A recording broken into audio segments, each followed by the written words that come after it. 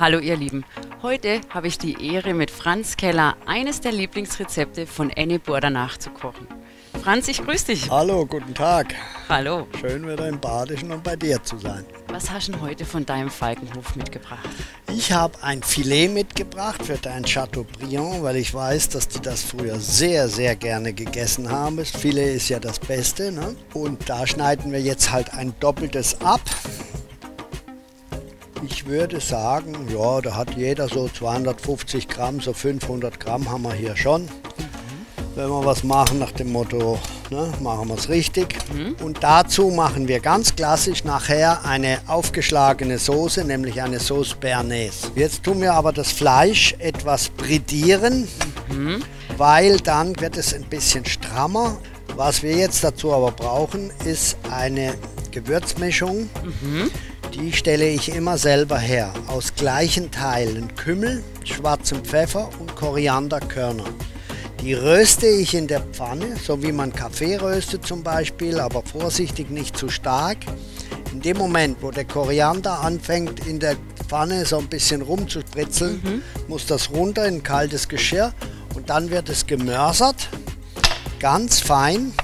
Und dann nehmen wir das als eine Mischung. Wir mischen jetzt einfach zu diesem Gewürz noch Salz dazu.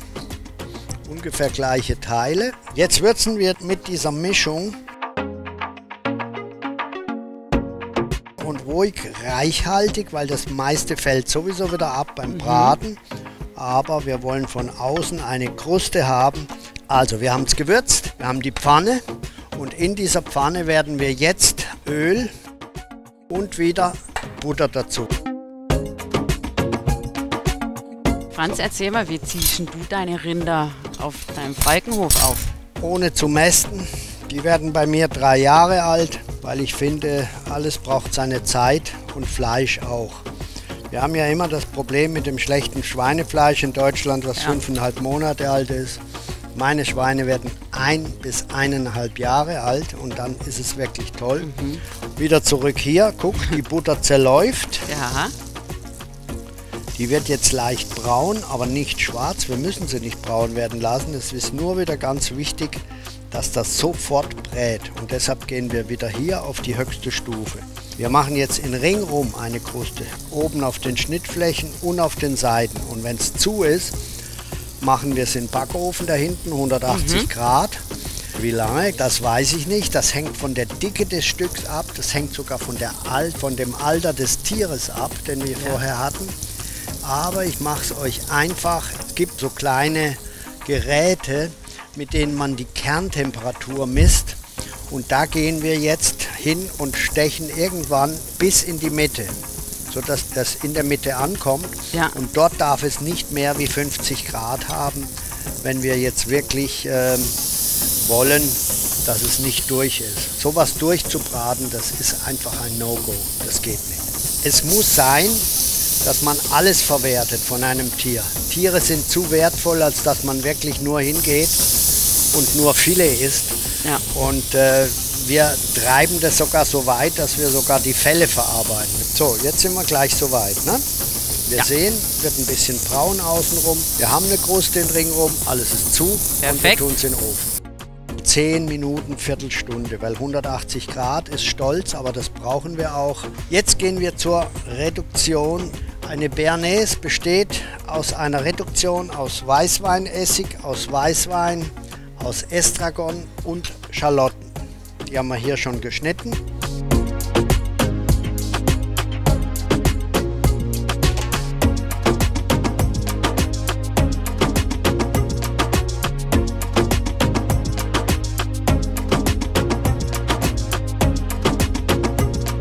Und Estragon kommt ja. immer rein. Estragon ist einer der wichtigsten Bestandteile von der Sauce Bernays. Weinessig, aber vorsichtig, nicht viel. Wir haben ja auch einen trockenen Wein genommen. So, und das ist jetzt der Ansatz. So viel ist das ungefähr und am Schluss ist dann noch nicht mal mehr ein Drittel davon da. Jetzt tun wir die Butter zerlassen. Und zwar haben wir hier ein Päckchen, ein bisschen ist schon weg. Für die zwei Portionen, die wir jetzt machen, nehmen wir mal etwas mehr wie ein halbes Paket. Ja? Und wo ist jetzt die Schwierigkeit an der Bernays? zu wissen, wann die Eimischung richtig geschlagen ist, wenn sie steht und sämig ist und dann die Butter unterziehen. Und dann darf nichts mehr passieren. Also wenn das dann zu heiß wird, wenn die Butter drin ist, dann gerinnt sie. Bleibst du gerade mal bei der Butter, ja, weil die darf ah. nicht braun werden. Dann richte ich mal in der Zwischenzeit die Eier, und zwar Freilandeier. Die Eier sollten nicht zu kalt sein. So, ja. Eigelb trennen vom Eiweiß. Wir verwenden jetzt zum Beispiel vier Eier. Wir nehmen das Eigelb.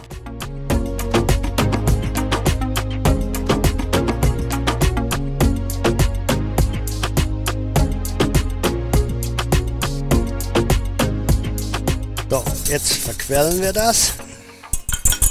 Dann mache ich jetzt ein Wasserbad. Warten wir erstmal, bis das Wasser heiß ist.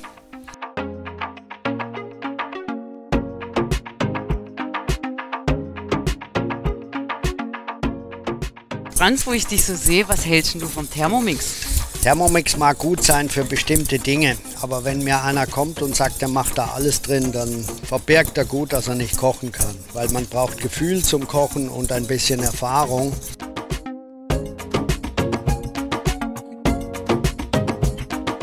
Und würzen tun wir es dann erst am Schluss. Wir haben jetzt nur die Aromaten dran, vom Essig, vom Weißwein, von den Schalotten, mhm. vom Estragon. Am Schluss probieren wir vielleicht noch ein bisschen Salz, vielleicht noch ein bisschen Säure in Form, aber dann nicht mehr von Essig, sondern von Zitronensaft. Mhm. Und das war's dann. So, unser Stück Fleisch ist jetzt gleich soweit im Ofen. Jetzt ziehen wir die Bernays hoch.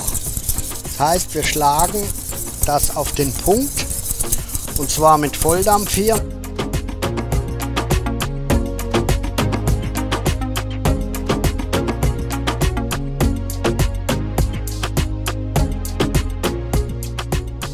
Hier haben wir jetzt die Butter und die ziehen wir jetzt unter die Hollandaise. Natürlich nicht mehr auf dem Feuer, sondern hier nur auf dieser Glasplatte und machen dann eine Bernays noch draus. Siehst du die Molke alles rein, damit sie super geschmeidig wird. Du bleibst jetzt dabei und rührst noch ein bisschen. Es kann nicht mehr viel passieren, aber einfach nur bewegen. Ja. ja? Und ich hole das Fleisch raus. So, wunderschön. Guck mal, daran sieht man auch die Qualität. Wow. Das Stück ist kaum kleiner geworden. Ich würde sagen, eher gar nicht kleiner.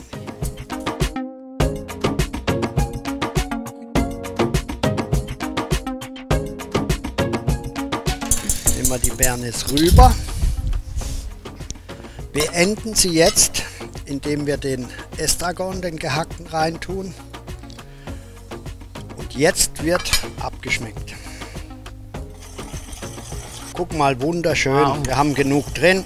Das duftet jetzt schon danach und jetzt probieren wir noch mal, ob wir noch mit Salz oder Säure arbeiten.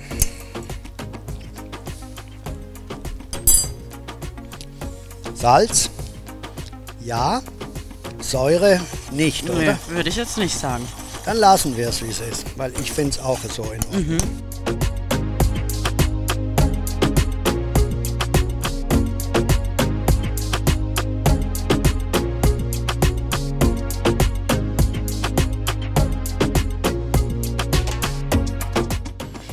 Franz, was trinken wir jetzt für einen Wein dazu? Einen Rotwein, einen Pinot Noir oder Spätburgunder. Mmh. Franz, wie immer vielen, vielen Dank. Ich danke dir.